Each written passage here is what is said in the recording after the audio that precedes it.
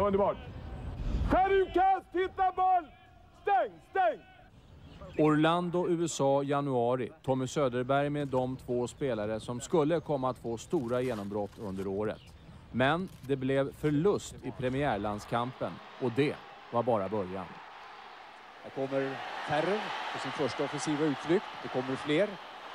Och det är första ingripare för Håkan. Han tappar bollen och bjuder Spanien på 1-0. Aj, aj, aj. Elegant spel. 2-0. Oj, vilket mål.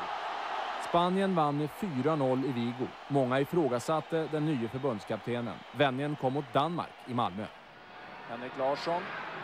Ah, det är snitsigt gjort av Larsson. Här då! Mm, vad nära! Ja, där har vi den! Eller hur? Och visst är det väl Fredrik Ljungberg som är sist på bollen? Tack för kaffet, säger Tommy Söderberg. Nu vinner vi bollen, då blommar vi ut. Får bra djup, bra bredd i banan. Och innanför det här så finns det en färg också som är väldigt stark. Det är spelarnas kunnande. Shearer. England tar ledningen. Första skottet på mål. Tottenham Ljungberg jagar. Strålande brytning. Fredrik Ljungberg. Ganska mycket folk i den engelska muren. Johan Nilsson skymmer bollen. Schwarz skjuter. Det är en bra frispark. Simon lämnar retur. Och Andreas Andersson. Andreas Andersson.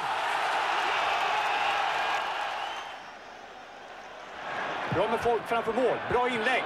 Det är så de ska komma. Det är så de ska komma. Johan Mjällby! Boom, boom, boom. Swap, swap.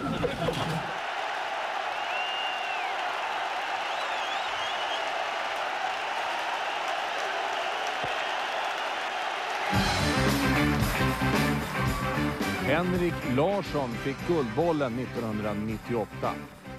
På en regntung plan i Burgas avslutades det svenska landslagsåret och Henrik Larsson gjorde matchens enda mål mot Bulgarien.